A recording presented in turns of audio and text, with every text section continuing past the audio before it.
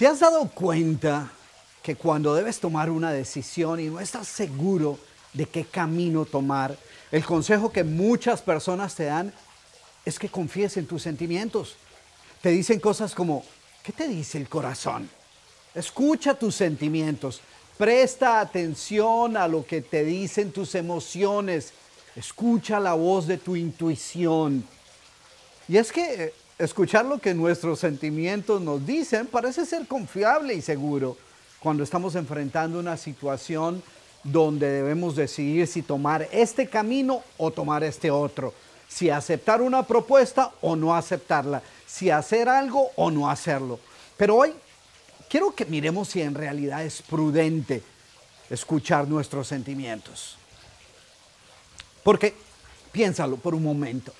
La razón por la cual escuchar lo que nuestros sentimientos, nuestra intuición nos dice, es porque asumimos que nuestros sentimientos son confiables, que ellos siempre van a actuar a favor nuestro, que siempre nos van a mostrar el camino correcto.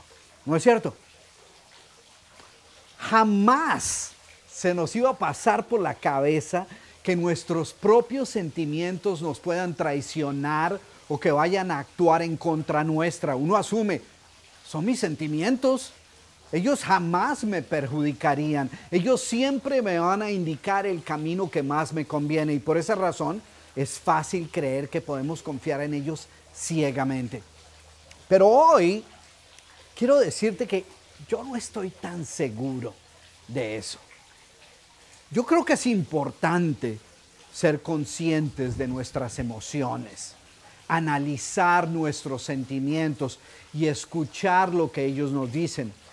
Pero eso no necesariamente quiere decir que debemos confiar en ellos ciegamente ni basar nuestras decisiones exclusivamente en lo que creamos que nuestros sentimientos nos están diciendo. De hecho, dependiendo de dónde se han originado esos sentimientos, ellos eh, pueden ser una gran guía o un pésimo consejero.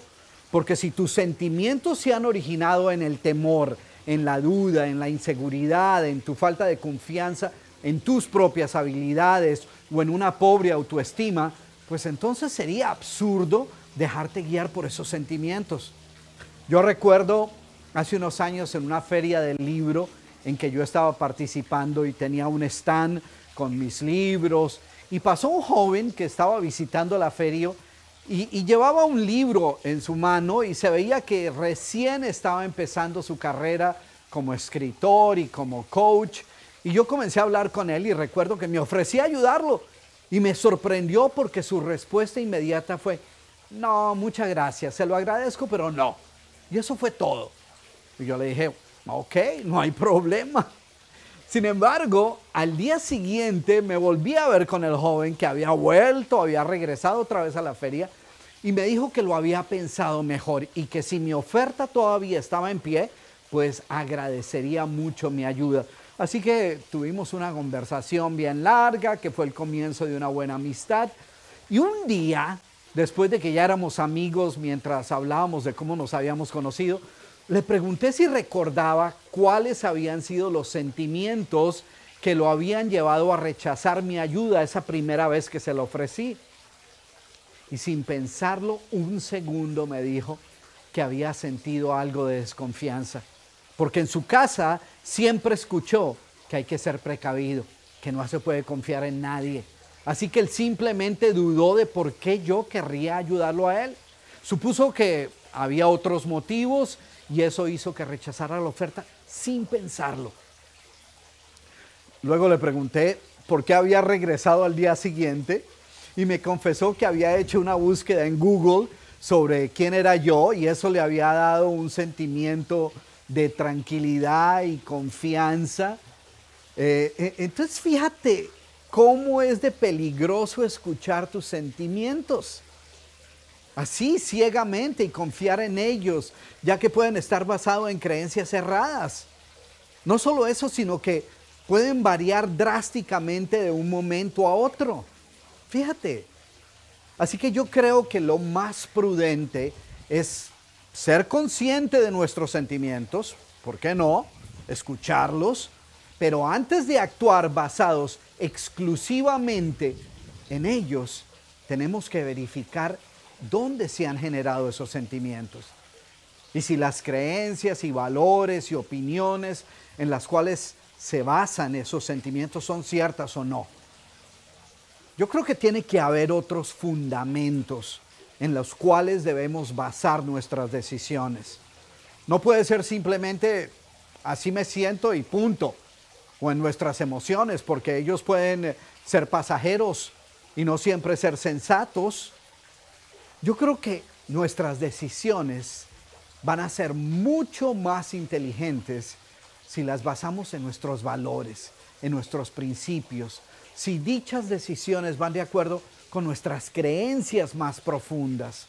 Y si esas decisiones nos están acercando hacia los sueños y metas que nos hemos propuesto alcanzar. Si son parte de un plan de acción que tú has desarrollado previamente.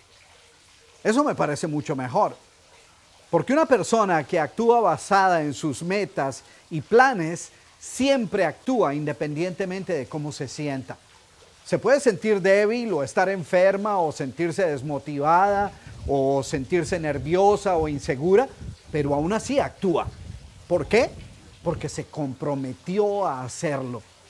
Entonces, si sonó el despertador en la mañana y se había comprometido a ir al gimnasio, pues ella salta de la cama inmediatamente, se viste y va a hacer lo que había dicho que haría la noche anterior. Pero mira lo que sucede con la persona que actúa basada exclusivamente en sus sentimientos.